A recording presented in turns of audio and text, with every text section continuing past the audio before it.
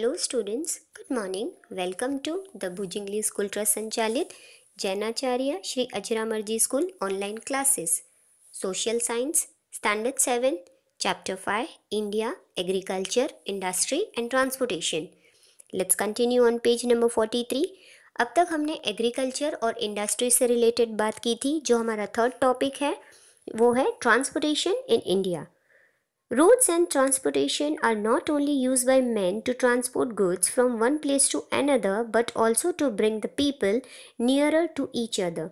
जो ट्रांसपोर्टेशन होता है यानी सामान यहाँ से वहाँ या हम चीज़ें यहाँ से वहाँ जो ट्रांसपोर्ट करते हैं तो रोड्स और जो ट्रांसपोर्टेशन है सिर्फ़ सामान पहुँचाने के काम नहीं आता है इनफैक्ट कुछ लोग भी यहाँ से वहाँ ट्रांसपोर्टेशन के थ्रू होते हैं it helps in promoting the unity of a nation और ट्रांसपोर्टेशन के वजह से बहुत ही आसानी से लोग एक दूसरे से कनेक्टेड रहते हैं, मिल पाते हैं, कहीं पर भी हम कहीं पर भी जा सकते हैं। There are roadways airways railways and waterways in India it means चार टाइप के ट्रांसपोर्टेशन वेज है हमारे इंडिया में। पहला है roadway airway railway waterway along with them rope ways are also use ऐसा नहीं है कि सिर्फ़ ये चार यूज़ होते हैं इनफैक्ट रोप वेज भी यूज़ होते हैं। Pipelines are used to transport liquids pipelines जो यूज़ की जाती है, वो लिक्विड को ट्रांसपोर्ट करने के लिए यूज़ करते हैं। Let's see on page number forty four यहाँ पर फाइव पॉइंट सेवन में रोड्स रोडवेज़ ऑफ़ इंडिया यहाँ पर you can see it over बना हुआ है। यहाँ पर green line national highway depict करती है red line golden quadrilateral depict करती है और जो एट करके सिंबल दिया हुआ वो है नेशनल हाईवे नंबर तो इसके बारे में हम थोड़ा बाद में देखते हैं. लेट्स सी पहला हम बात करेंगे रोडवेज़ के बारे में. Roadways are a unique feature of a nation and are equally beneficial you can see 5.8 में आप देख सकते हो कि विलेज रोड बना हुआ है, यानी गाँव के बीच में रास्ता बना हुआ है। तो रोडवे एक है ना यूनिक फीचर है हमारे नेशन का, जो हमारे लिए बहुत ही ज़्यादा बेनिफिशियल यानी फ़ायदेमंद है। Roads are constructed to connect villages and provide facilities of transportation to the villages अब जो रोड्स बनाए जाते गाँव को कलेक्ट कनेक्ट करने के लिए, यानी एक दूसरे से जुड़ा हुआ रखने के लिए गाँव और शहरों के बीच में रोड्स बनाए जाते ताकि उनको प्रॉपर ट्रांसपोर्टेशन की फैसिलिटी मिल सके, सामान यहाँ से वहाँ हो सके। The roadway of India is the biggest one in the world और जो रोड वे है सबसे बिगेस्ट है पूरे वर्ल्ड के बेस पे। अब हम बात करेंगे कि टाइप्स ऑफ़ रोडवेज़ अब रोडवेज़ में कितने टाइप होते हैं। पहला हम पढ़ेंगे village road village road connects the main village with the main city of the taluka और डिस्ट्रिक्ट मेन सिटी अब विलेज रोड जो बनाया जाता है, वो मेन सिटी जो शहर है, तालुका का जो मेन शहर होता है मेन सिटी होती है, या तो डिस्ट्रिक्ट की जो मेन सिटी होती है, उससे कनेक्टेड होता है. पेज नंबर फोर्टी फाइव पे देखते हैं. सेकंड आता है district road five point nine में आप देख सकते हो. The district roads connect the major regions and the cities with the taluka. जो डिस्ट्रिक्ट रोड होते हैं, वो ज़्यादातर बड़े हिस्सों को और शहरों को तालुका से जोड़ कर रखते हैं। स्टेट हाईवे आप यहाँ देख सकते हो 5.10 में। State highway, connect the state capital with the district headquarters and important cities. Same way state highway भी क्या करता है? स्टेट का जो कैपिटल होता है, उसको डिस्ट्रिक्ट हेडक्वार्टर्स के साथ और दूसरे बड़े बड़े शहरों के साथ रोड्स को कनेक्ट करता है। फोर्थ आता है national highway national highway is the most important highway it connects one state with another state जो नेशनल हाईवे होता है you can see in the picture 5.11 national highway national highway बहुत ही इंपॉर्टेंट हाईवे होता है क्योंकि वो एक स्टेट को दूसरे स्टेट के साथ कनेक्ट करता है। It connects the main cities ports administrative headquarters etcetera सिर्फ़ उसके ऐसा नहीं है कि सिर्फ़ स्टेट्स को कनेक्ट करता है, उसके अलावा बड़े बड़े शहरों को पोर्ट्स को, जो हेडक्वार्टर्स होते हैं एडमिनिस्ट्रेटिव उन सबको कनेक्ट करता है। There are approximately fifty national highways अगर हम देखें तो मिनिमम अगर हम बात करें अप्रॉक्सीमेट अगर हम प्रॉपर अमाउंट देखें तो फिफ्टी नेशनल हाईवेज प्रेजेंट है। पहले हम बात करेंगे national highway number seven It being the longest highway of India, it extends from Varanasi to Kanyakumari ये सबसे लॉन्गेस्ट हाईवे है और वो एक्सटेंड करता है। एक्चुअली यहाँ पर नेशनल हाईवे नंबर एट आना चाहिए। तो ये एक्सटेंड करता है वाराणसी से कन्याकुमारी तक। इसका एक्सटेंशन इतना है। National highway number thirty five it is the shortest highway it connects Kolkata to Bongaon बहुत ही छोटा हाईवे है, जो कोलकाता से बोंगोन तक कनेक्ट करता है, जो सिटी है बांग्लादेश के बॉर्डर के पास। अब थिंग्स टू नो में एक चीज़ बता देती हूँ कि मैंने आप लोगों को यहाँ पर मैप में बताया था गोल्डन क्वाड्रिलेटरल तो अब ये देखते हैं कि गोल्डन क्वाड्रिलेटरल क्या है। It is the under construction in India, it will join the metropolitan cities like Mumbai, Delhi Kolkata and Chennai metropolitan cities जो है जो चार फ़ेमस सिटीज़ है हमारे आ, इंडिया की मुंबई दिल्ली कोलकाता और चेन्नई इन चार चारों को कनेक्ट जो करता है उसको कहते हैं golden quadrilateral Its length would be 5846 km.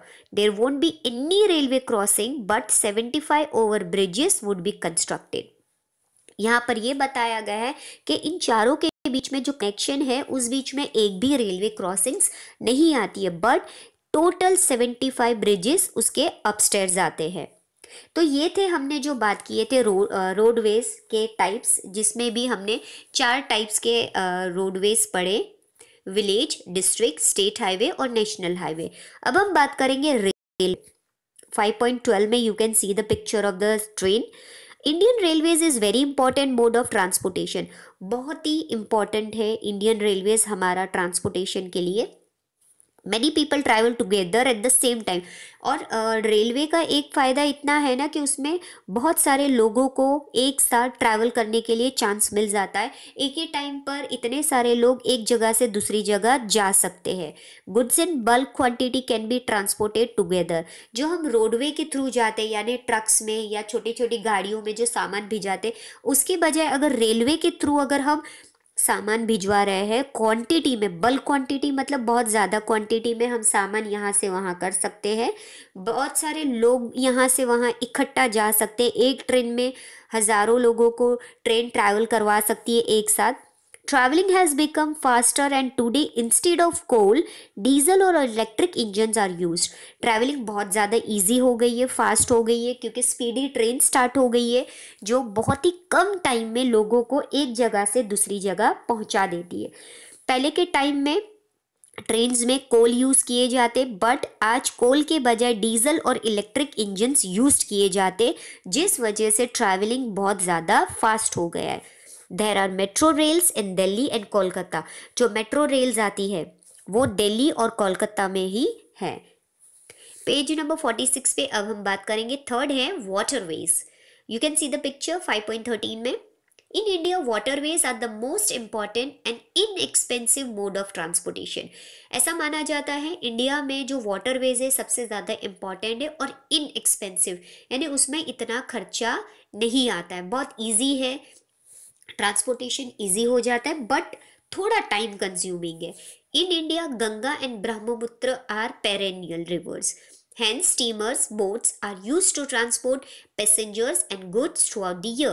अब जो गंगा और ब्रह्मपुत्र रिवर है पेरेनियल रिवर है यानी जो बैलेंस एक इक्वल में जिसके अंदर हम बोट्स स्टीमर्स को यूज़ कर सकते हैं ट्रैवल कर सकते हैं ट्रांसपोर्टेशन के लिए भी यूज़ कर सकते हैं ये रिवर्स को तो स्टीमर्स और बोट्स यूज़ किए जाते हैं आइधर पैसेंजर्स को ट्रांसपोर्ट करने के लिए या तो गुड्स को ट्रांसपोर्ट करने के लिए पूरे साल international trade and travelling for pleasure can be carried out via the waterways international trading भी हो सकती है. It means out of country हमारे कंट्री के अलावा भी अगर हम चाहे तो दूसरे कंट्रीज़ के साथ ट्रेडिंग वाटरवेज के थ्रू कर सकते हैं. इनफैक्ट कुछ लोग अपनी ट्रैवलिंग के लिए प्लेजर के लिए, अपनी खुशी के लिए, घूमने के लिए भी वाटरवेज के थ्रू दूसरे कंट्री जा सकते हैं.